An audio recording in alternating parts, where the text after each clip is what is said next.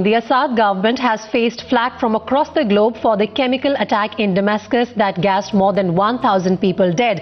And as situation continues to worsen in Syria, the West is now ready to strike. US says it is ready to launch a strike on Syria for its gross violation of international laws.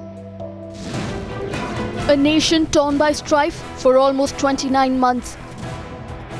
From civil unrest to full-fledged military action, Syria has seen it all.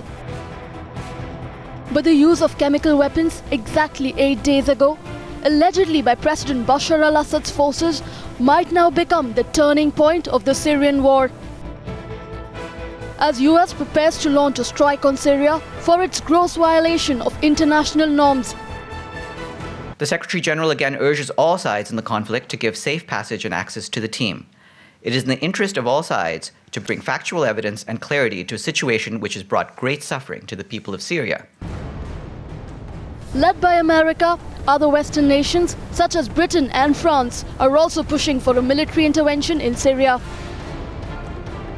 What we've seen in Syria are appalling scenes of death and suffering because of the use of chemical weapons by the Assad regime. And I don't believe we can let that stand.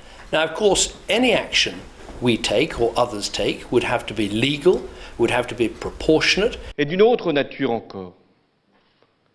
C'est de rechercher la riposte la plus appropriée aux exactions du régime syrien, une fois achevé l'essentiel de la mission d'enquête des Nations Unies. Any kind of military action in Syria at this point can be held legal and permissible under the international law for the prevention of atrocities and war crimes.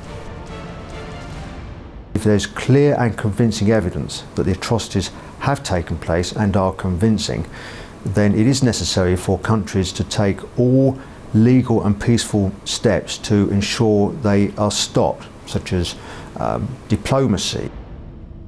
The Syrian government's vehement denials over the usage of chemical weapons has failed to cut any ice with anyone except Iran.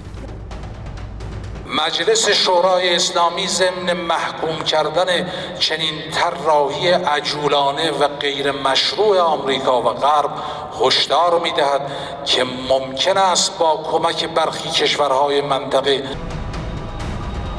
But it remains to be seen whether the US's attempt to play Big Brother in the Syrian crisis actually helps matters or worsens it. Bureau Report, Times Now.